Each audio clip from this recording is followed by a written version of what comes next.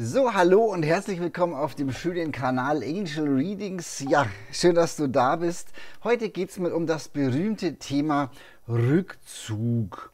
Ja, also wenn du dich jetzt gerade gleich direkt angesprochen fühlst, wenn ich dir sage, ja, da ist ein Mann, ein Mensch, ein potenzieller Partner für dich in deinem Leben, wo ja vielleicht das Kennenlernen schön war, wunderbar und auf einmal flacht es irgendwie ab oder dein Partner, dein Wunschpartner hat sich gleich zurückgezogen und du weißt nicht genau, was ist denn da jetzt los und hörst nur so Sachen wie, äh, ja, ich kann mich nicht öffnen oder ich habe so viel zu tun oder ich brauche ja noch Zeit. Also Dinge, die er ja eigentlich schon von Anfang an wissen hätte müssen. Oder er hat gar nichts gesagt und du hast gerade wirklich das Gefühl, bei meinem Partner oder meinem Ex-Partner äh, ist irgendwie was passiert, wo der sich jetzt von mir zurückzieht und ich weiß nicht wieso. Und das ist so oft der Fall. Ich kriege es ja jeden Tag in den Buchungen mit für meine persönlichen Readings, die ich ja auch noch mache, dass da ganz, ganz oft äh, das Kennenlernen, die Partnerschaft eigentlich schön war. Ne, man hat vielleicht mal hier oder ein, das ein oder andere Thema und mit einem Schlag pff, ist Funkstille, Rückzug, komische Energie. Ähm, dann kommt eine Zeit lang vielleicht keine Nachricht mehr, wo man eigentlich daran gewöhnt war, dass dann schon immer mal was passiert in der Kommunikation. Also irgendwie tote Hose. Und das schauen wir uns jetzt heute mal an. Ich habe eigentlich eine Idee gehabt, gestern in der Dusche. Lass uns doch mal was Lustiges machen. Ähm, was für eine Musik oder welches Lied hörst du denn am liebsten, wenn es dir gerade nicht so gut geht? Er hat ja jeder so seine Songs, ähm, die macht man dann an, macht laut, dann äh, nimmt man das in sich auf. Musik ist immer ein tolles Heilmittel. Und ich hatte heute die tolle Idee, schreib du doch mal hier in, den, in die Kommentare jetzt rein zwei Lieder, was du hörst, wenn es dir nicht so gut geht. Und ich fange an.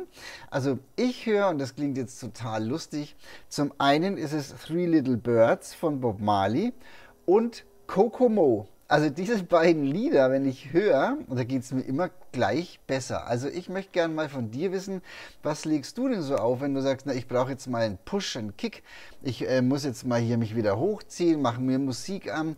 Was hörst du am liebsten für Songs? Schreib, jeder schreibt jetzt hier mal ein, zwei Lieder rein.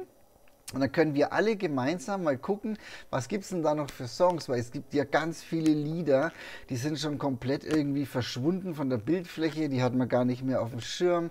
Bin mir sicher, dass der ein oder andere jetzt hier unten ein paar Lieder findet und sich denkt, ach Gott, wie schön, stimmt, das gibt es ja auch noch. Also ich sage, Kokomo und Three Little Birds von Bob Marley, diese beiden Songs, wenn ich auflege, dann geht es mir wieder wunderbar. Also ich bin mal gespannt, was du mir jetzt da unten in die Kommentare reinschreibst. Was führst du deinen Ohren zu Gemüte, wenn du sagst, ich brauche jetzt mal einen Motivationspush? Also, ich bin gespannt. Ja, aber erst wollen wir ja jetzt mal reinschauen. Was ist denn da mit dem Rückzug? Was, was soll das? Na, was, was geht in ihm vor? Was macht das natürlich auch alles mit dir?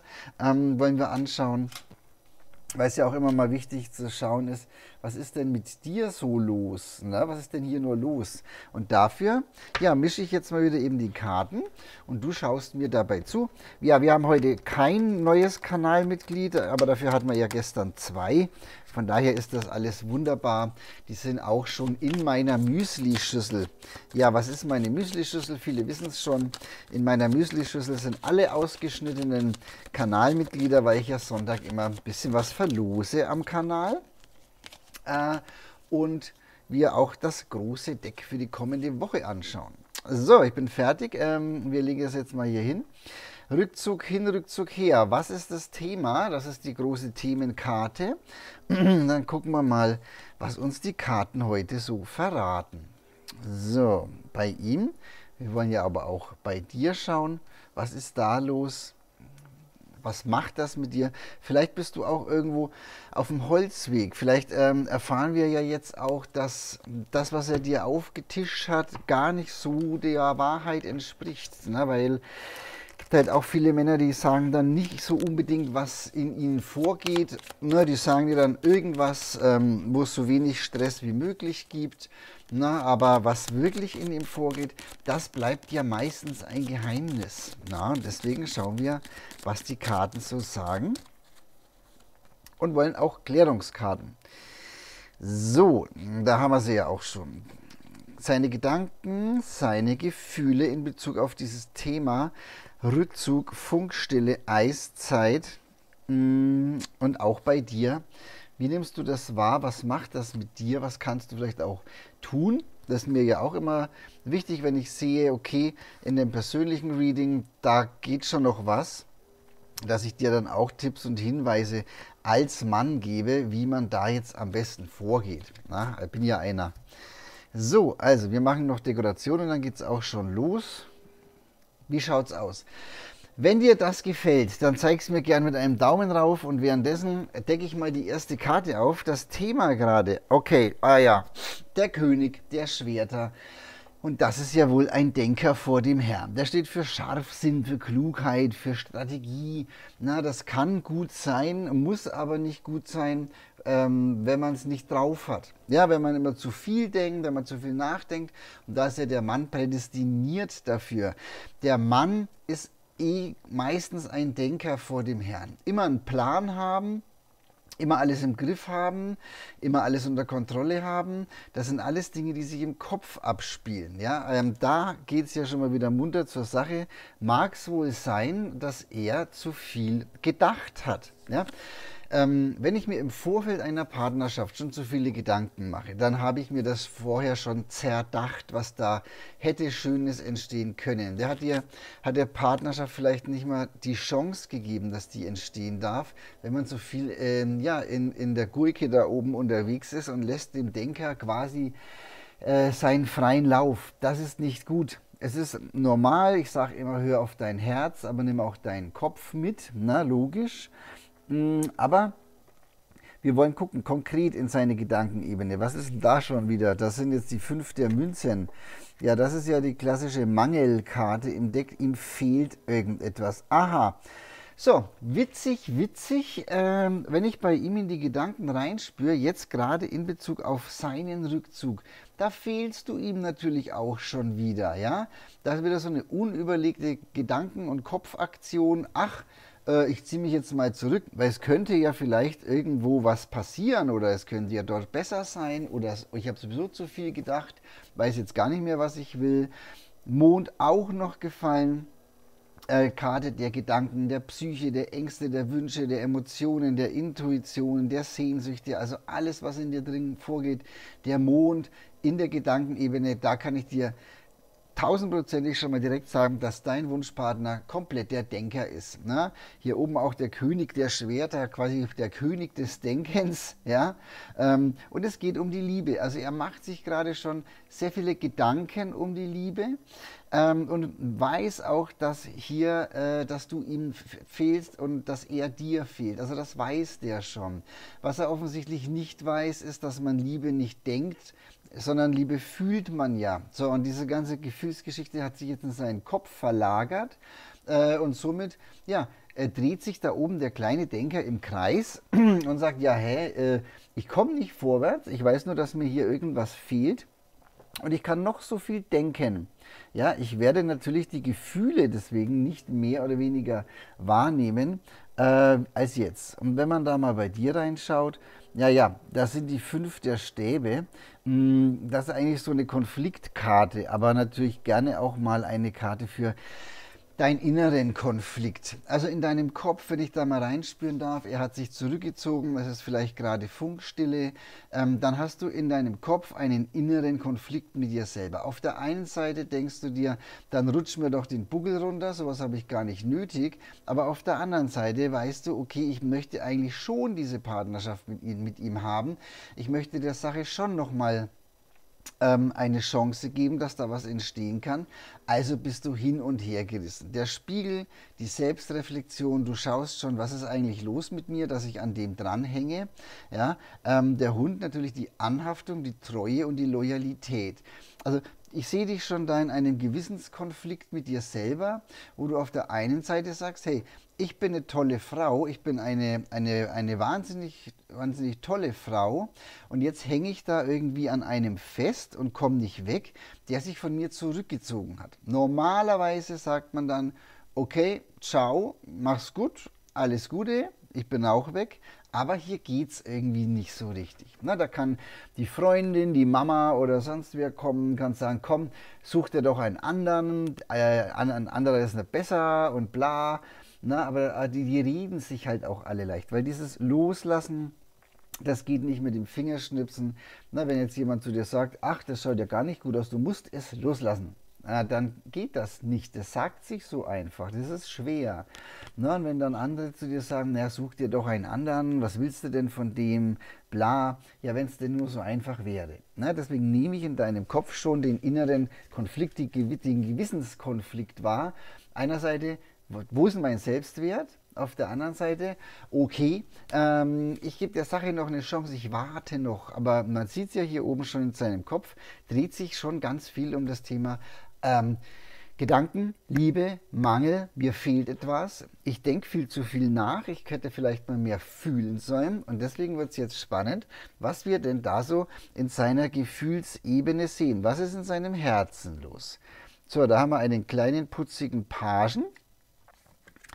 Wir haben Störche. Störche?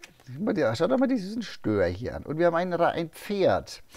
Okay, der Page der Münzen ja, der steht immer für ein, ein, eine Chance, etwas auszunutzen. Ja, also etwas ähm, äh, vielleicht zu erreichen, wo der Page der Münze sagt, hey, im Herzen, da ist doch die Chance da, dass was Schönes entstehen kann. Ja, ähm, sein Herz sagt ihm auch im Rückzug momentan, ähm, ja, was ist denn hier mit Umbruch, Wandlung, Leichtigkeit? Wo ist denn die positive Veränderung?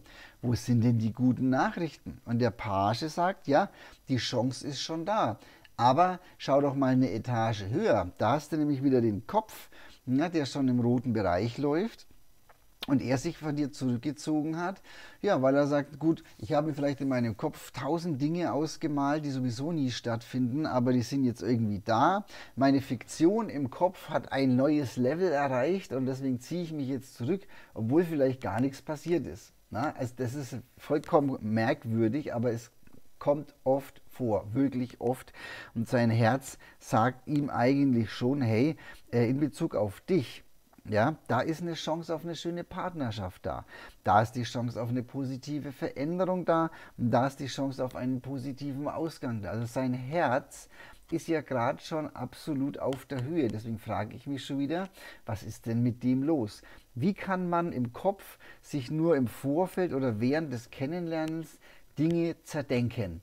Das ist unglaublich. Aber wir gucken mal, was macht das denn mit dir? Ja, dein Herz. Okay, jetzt verstehe ich auch deine Gedankenebene, dein innerer Konflikt. Du kannst das nicht loslassen. Ja, du kannst nicht sagen, okay, dann bin ich mal weg. Na, also mach's gut, denn mit den zehn Kelchen, das ist ja die höchste Liebeskarte im Deck überhaupt. Ja? Ähm, Wunscherfüllung, Zufriedenheit, höchste Liebe, dein Herz ist ganz weit offen und sagt, okay, ich merke doch, dass da Kraft und Stärke ist, dass diese starke Bindung da ist. Der Bär steht ja in der Liebe gern auch mal für eine starke Bindung. Eine große Liebe ist da. Dein Herz sagt auch, mein Gott, was ist hier los? Hier braucht es doch irgendwo die Notwendigkeit einer Lösung mit dem Knoten. Ähm, da ist der Knoten drin gerade, keine Frage. Aber dein Herz sagt, ne, ich liebe den, da ist eine starke Bindung da mit den zehn Kelchen absolute Obertop-Karte und ein Herz sagt, lässt sich denn das nicht lösen? Kann man denn da nichts machen? Ne? In welche Richtung kann es denn da gehen, dass es vorwärts geht? Und es geht absolut in diese Richtung. Diese Ecke ist aktuell dafür verantwortlich, dass bei euch nichts weitergeht. Hier passt es ja, hier passt es ja auch. Du bist sowieso im Kopf unterwegs und sagst, ja, boah, eigentlich warte ich nicht so wirklich auf jemanden, aber hier äh, denke ich, dass noch was entstehen kann. Da magst du vielleicht sogar recht haben, weil die Liebe ist ja hier sowieso schon gefallen und ich weiß, dass du ihm fehlst, dass du ihm sogar sehr fehlst. Na, das sind gute Nachrichten und da zeigt sich einmal wieder mehr, dass ähm, ja, der Mann sich manchmal auch Hals über Kopf zurückzieht. Ne, dass das eine Entscheidung ist äh, aus einer, einer, Wut, einem Missverständnis, äh, vielleicht auch aus einer Emotion heraus oder aus komischen Gedanken, aus Beeinflussung anderer um Themen, die er um die Ohren hat. Dann fällt auf einmal dieses schöne Kennenlernen, diese schöne potenzielle oder Partnerschaft hinten runter. Er zieht sich zurück, schaut, was denn, was denn bei mir überhaupt so los und dann macht's Boom. Ja, dann ist hier irgendwo alles durcheinander geraten in seiner Energie. Also, ja, selber schuld. Na, okay, dann schauen wir mal. Die Einsicht kommt. Er wird in der nächsten Zeit feststellen, ja, die sieben Schwerter, das ist so eine Karte, für je, wenn jemand das Beste für sich herausholt, ähm, Geschick und Lüge. Aber auch bei, gerade bei dieser Karte ist eine von den wenigen Tarotkarten, wo ich sage, wenn ich da drauf schaue, lasse ich das auch auf mich wirken. Und wenn ich diese Karte anschaue, äh, ist immer so ein bisschen das Gefühl bei mir da, da stimmt was nicht. Und er wird auch in der nächsten Zeit feststellen, dass hier etwas nicht stimmt. Dass er tatsächlich zu viel im Kopf unterwegs ist, weil dieser Esel steht für die Sturheit, der steht für das Ego, der steht für das Denken. Ja, und es geht ihm um seinen Selbstwert. Er wird also in der nächsten Zeit im Rückzug feststellen, dass es hier auf jeden Fall mal ähm, Richtung Selbstwert, Wachstum und Harmonie gehen kann. Äh, und dass ihr vielleicht tatsächlich merkt, oh mein Gott, ich habe die ganze Zeit mir irgendwas zusammengedacht in meinem Kopf. Ähm, jetzt kommt mein Herz so richtig durch. Jetzt darf ich auch mal irgendwie schauen, ja, ich habe außer Hunger und Durst tatsächlich noch Gefühle. Ja, ähm, und die gehen komplett in deine Richtung rein. Also auch hier schöne Energie bei dir in den Tendenzen. Was sehen wir denn da so Schönes? Okay, ja, das Ass der Kelche. Kelche sind ja Liebeskarten. Ass der Kelche, die Chance auf Erfüllung, auf Frieden und auf Liebe. Ja, mm, du darfst auch hier bei dir innen etwas auflösen mit der nächsten Zeit. Wenn du merkst, okay, er kommt aus seinem Kopf raus ins Fühlen und es geht ihm ums Wachstum und um die Harmonie, dann darfst du mal schauen, dein inneres, dein innerer Wegweiser, der wird dir schon sagen, okay, hier hast du innen in dir drin eine toxische, eine ungesunde Lebenssituation, ähm, die wird aber vorbeigehen. Ja, wenn er merkt, dass hier alles komplett nicht stimmt mit ihm, was er da so fabriziert hat, ähm, dann wird sich das hier auch auflösen. Denn die Eule, das ist die Intuition und der innere Wegweiser. Das heißt, weg vom Gift hin zum Ast der Kelche, weil das ist die Chance auf Erfüllung und das ist die Chance auf Liebe. Also dieses Gift, das wird verschwinden. Ich denke mal, hier kommt Stabilität rein. Äh, Habe ich jetzt hier noch die Hauptenergie liegen mit dem Haus. Das ist die Basis, das ist das Fundament und das ist bei euch beiden auf jeden Fall da. Wenn du mich fragen würdest, kommt er nochmal zurück, was ist denn mit ihm im, im, Rückzug so los, würde ich dir jetzt hier genauso im privaten Reading sagen, ähm, dass äh, ich schon sehe, dass du ihm sehr, sehr fehlst. Es geht ihm um Liebe, es geht um seine Gedanken, um, sein, ja, um seinen kleinen Egon im Kopf. Ja, ich, er denkt viel zu viel nach, aber in der nächsten Zeit wird er mal merken, das Herz wird nicht aufhören zu schreien ich will Liebe haben, ich will Liebe geben. Und das wird er auch merken, dass hier bei ihm irgendwas nicht stimmt und dass er mal aufhören darf zu denken, dass du aus diesem Zustand hier rauskommst und auch bei dir selber ankommst und die Chance auf, auf Liebe und Wachstum da ist. Von daher, ja, Kopf aus, Herz an es ist höchste Zeit für ihn und ähm, ja, du darfst natürlich auch entscheiden, wartest du so lange? Ich sage ja immer gern, warte nicht zu lange auf einen Menschen. Ähm, das Leben ist eine kurze Reise, äh, genieße sie, verbring nicht so viel Zeit damit, auf irgendjemanden zu warten. Das muss natürlich du für dich ganz alleine entscheiden. Aber wenn du sagst, ja, ich habe jetzt gerade nichts anderes zu tun, äh, jetzt warte ich nochmal ab, äh, was hier passiert, dann kann ich dir hier auf jeden Fall empfehlen, Gib der Sache noch ein bisschen Zeit. Hier ist gerade super viel Umbruch da. Äh, die Basis, das Fundament für euch in der Liebe ist da. Und somit schaut es dann ja ganz gut aus. So. Ja, das war es dann auch schon wieder von mir für heute. Ich bedanke mich fürs Zuschauen. Ich klinge wie ein Fernsehmoderator. wenn es dir also gefallen hat, würde ich mich sehr freuen, wenn du mir einen Daumen rauf gibst oder so mir zeigst, dass dir das gefallen hat. Ähm, und vergiss nicht jetzt mal hier in die Kommentare ein paar Songtitel zu schreiben, wo du sagst, das ist ein Song, der gibt mir richtig gute Energie. Ich bin gespannt, was da drunter steht. Und ansonsten sage ich ja, bleibt gesund, seid lieb zueinander und wir sehen uns dann beim nächsten Video. Ciao!